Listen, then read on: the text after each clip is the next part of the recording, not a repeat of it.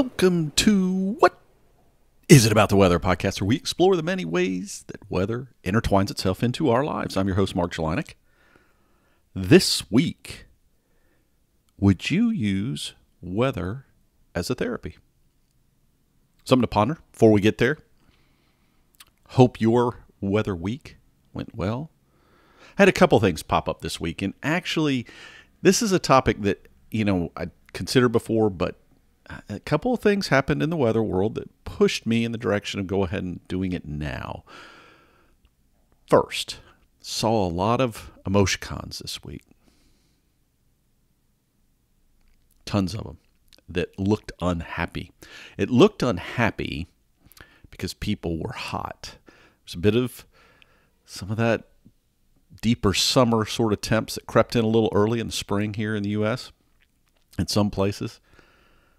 And those you know who've been with the podcast well know that I also get outside, do some hiking, biking, those sort of things.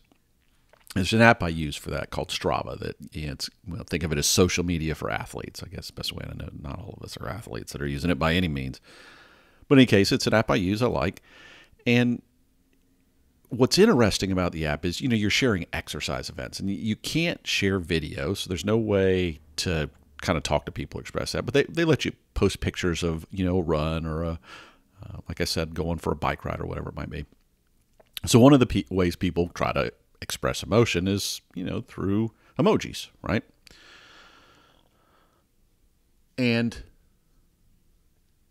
I watch people try to do it, and some people do it well.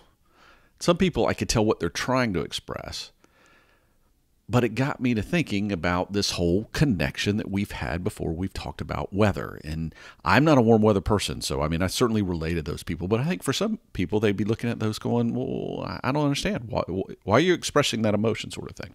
And we've been through some of that. And we've been through it from a perspective of how weather influences or how weather impacts us. Now, the other thing that came up this week is the first tropical cyclone, technically, I think it was Tropical Storm Ana, of the North Atlantic hurricane season. And I know I talked a little bit last week about the season changing. Just just to be clear, right? The technical hurricane season for this year, and it will likely change either next year or the year after. You know, part of it is a planning thing. It still starts on June first, but the agency that's responsible for the North Atlantic hurricane zone, if you will, or region, happens to be the National Hurricane Center.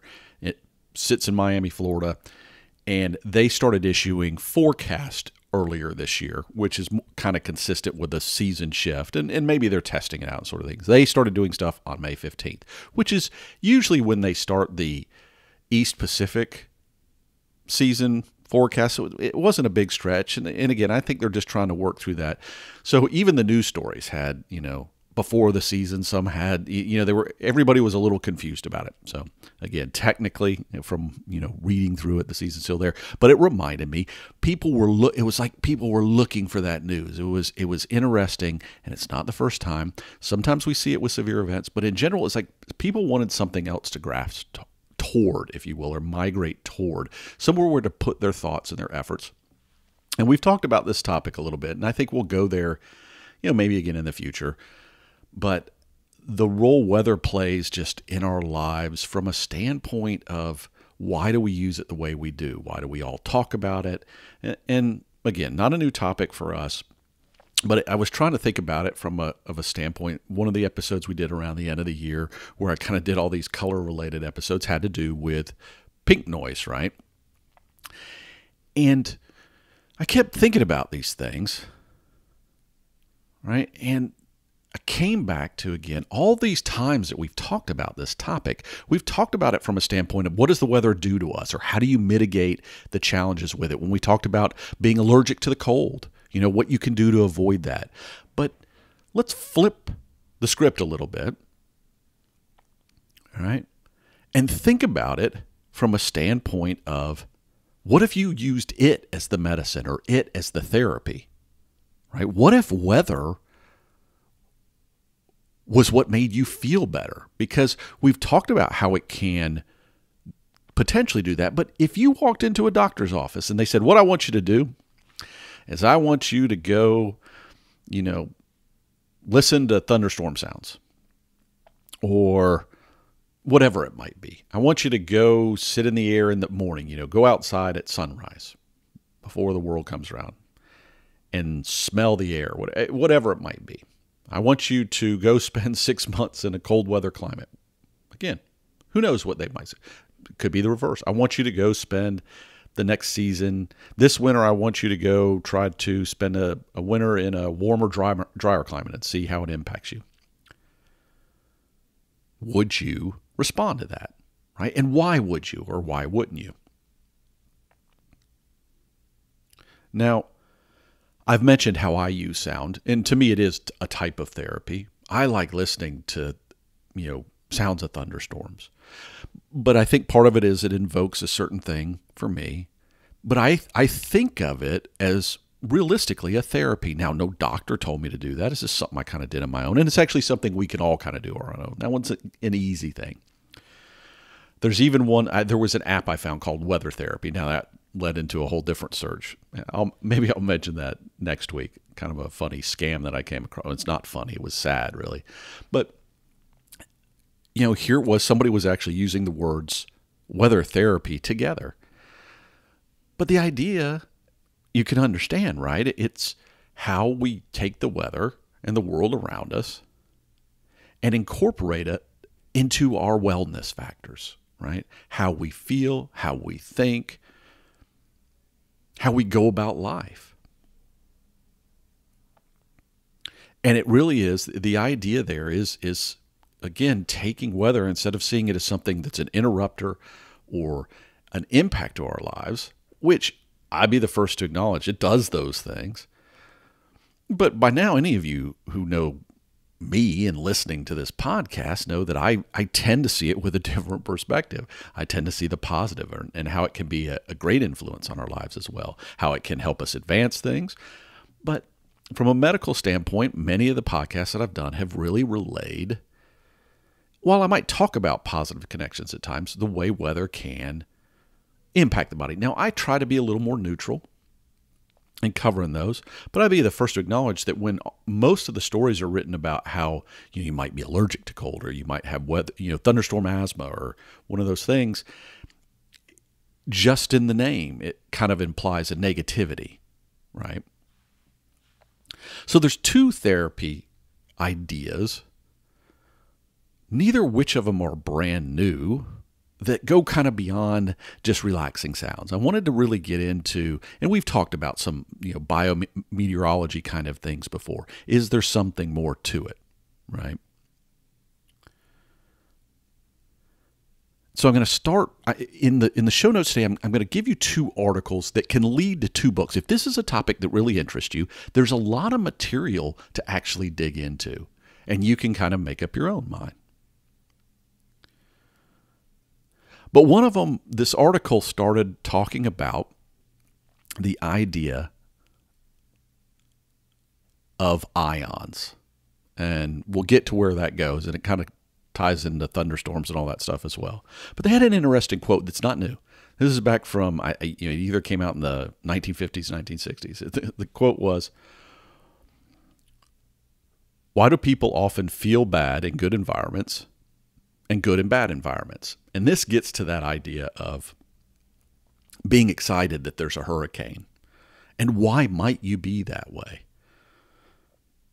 Right? So there's, for me as a meteorologist who's maybe at a distance, even when watching it, I might be excited for just understanding what's going on and and marvel about how it goes on. And I've told you before, I, I do try to balance that because it's also a destructive event, kills people, those sort of things. And other people, it works them up because maybe they have to warn people or look out for things, or maybe those in the storm's path have to go somewhere. But this author was relaying it in the context of she was at work in a in a mountainous region here in the US, eastern US, and this storm, she'd been out for a run, and this storm was coming and she could see the storm. Now, she didn't know if it was a tornado or something else, but clearly looked dangerous, whether it was going to have hail or something else. It looked ominous, and she described it as, as really feeling it. And in that sense, she relayed that you know, she ran in at a certain speed that she had never run at before for the two miles from where she was to home, and never since then has been able to duplicate those speeds. So clearly there was an impact, and it could have been as simple as adrenaline, of course, between the weather environment and how her body responded. But she found it invigorating. And so she really started looking into the idea of what might be was there more to it? Was there some sort of connection more than just an adrenaline rush or some idea, you know, that, that can be harder to latch onto? And she came across something that, you know, some, a topic I guess I'm familiar with, which is the idea of negative ions, which there are certainly plenty of in thunderstorms. I mean, one of the things that creates lightning, right, is when you get a separation of, of positive and negative charged particles. And there was a book written back in, I want to say it was in the 70s by an author named uh, Fred Soyka, and it's called The Ion Effect. It's really that simple. And this is where I'm telling you this is book one. But the the principle in the ion effect is if you load the air with negative ions, it's actually better for you because it helps attract other particles. Maybe it can take dust out of the air, but supposedly it, it can also make you feel better. And there have been experiments around this within the last 10 years that continue to suggest there's more to it that it, you know, so often with this stuff, you hear the word pseudoscience being used. And one of the challenges is a lot of things when it has to do with mental or brain components, they're not easy to prove. And the reality is the research is still out on this. A lot of people want to dismiss it out of hand. And they want to go to, you know, some drug you can build and create and throw in the body and measure very specific outcomes. But there are other therapies that we use that don't necessarily involve taking a medicine. There's light therapies. You, you even hear about even temperature based therapies that kind of fall in that range. And so the articles, while on one hand seem to suggest it's plausible, still don't have a good explanation, right? They still haven't fully figured out. There's hypotheses. And the, the other tricky thing is one of the things, for instance, and, and you've heard me talk about ozone around thunderstorms and whatnot, or when lightning occurs. The one of the challenges with ozone is ozone can actually be bad for you. So it's not like you want to be go sucking on ozone because it can damage your lungs. It can actually scar them. But is there something to it? And I, you know, I remembered when I was doing more traveling for business back in the the you know late '80s, early '90s, that I went to a convention somewhere. And it, you know, this is the thing: I would do conventions, business conventions, and every so often you'd have a few things that just didn't have anything to do with the convention, and quite often they were the latest fad at the time. Remember one of them being the the you know the dot pictures where you had to kind of blur a little bit to see the 3D image. This was kind of cool. Had this other thing that was a massage thing, was kind of neat. But one of them was ion stuff. And because I was at a medical thing, it was you know it was like loosely related, but their whole thing was, you know, for me, I've always been focused on humidity indoors and what's a comfortable level for me. But they were trying to push this ion that you don't need to worry about humidity. And I even remember getting a follow up call from the salesperson and you know him saying, well, you know, blah, you know, they had this whole sales pitch, and and uh, you know, I didn't go for that, of course, but the idea was interesting. Now, what they have found is those ion generators, and they're still sold today, probably don't create enough of whatever it is to be all that helpful. And the research that was done suggests that meh, maybe you'd really have to have a lot for it to be useful. That said, there's a lot to it, and so you know, something to think about. If you walked into a doctor and they said, "I wanted you to try ion therapy," I mean, we try all sorts of other things. Would you go for it? And another one I came across had to do with cold. And this isn't a new thing either, right? Most of us have heard about people going and doing polar bear swims, as they're called, right? Where you go and jump in really cold water and take a swim. And these people always talk about how wonderful it makes them feel. And again, I came across an article, somebody who was interviewing a person who ultimately wrote a book. This was a person who went to cover the idea, went and saw someone who was really promoting the idea, not being skeptical, and in the end, changing their whole lifestyle. Moved from where they were living to a place where they could experience that and really bought into it. Once they understood it, they found it useful for them, right? And there are, as we discussed, for people that are allergic to cold, there's a real thing there. Cold weather definitely it dilates our blood vessels. It uh, for me, I've always found it invigorating. You know, whenever I'm tired, if I can get some a blast of cold air, it makes me feel good. It's one of the things like it's like rolling the window down when you're tired and you're driving, right? You want to get a, an alert. It's great in the wintertime. It's because it's almost, it's like a shock to the system. Now you don't want to do it in a stupid way, right? But it's the idea of it, and and there's a again a person uh, who's kind of focused on this. His name's Wim Hof, and I think he's Dutch, if I'm remembering correctly.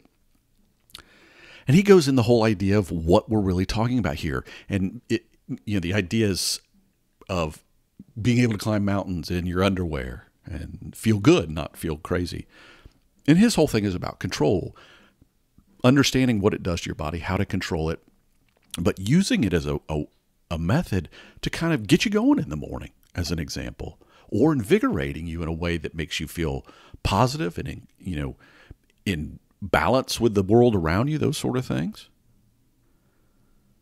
And given that I'm somebody who doesn't like the heat to begin with, I, yeah, I can understand that. But I also, I, I do have an understanding from personal experiences in my life of watching how heat can be debilitating to people with certain conditions, right? And so the idea of cold therapy, to me, it sounds plausible and it sounds logical.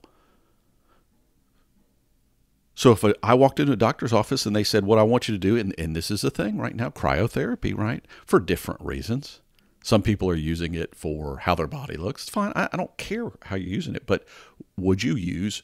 But if someone said, "Go spend a you know a year living in the Nordic countries and get up every day and go for a cold water swim," go lay in the snow in just your underwear, would you do those things? or what would it take? I think that's the other thing we, we look into. And I don't think this is just about either one of these things I mentioned. I think it's that way about a lot of things. We, you know, it's one thing to say, oh, I'm going to take something for pain relief. And some people don't like even using pain relievers. And I get that. So why put something in our body we don't fully understand? But we do it all the time. We don't fully understand most things that we put in our body and the impacts of all this, you know, many of the foods we eat and stuff that's been dictated through you know, I don't want to say clever marketing, but a lot of marketing over the years that isn't necessarily consistent with how humans existed a thousand years ago before there were all the modern world things around us. But I am curious if you walked into a doctor's office today and they said, do this with the focus being on this type of weather, would you try it? What would it take for you to try it? let me know.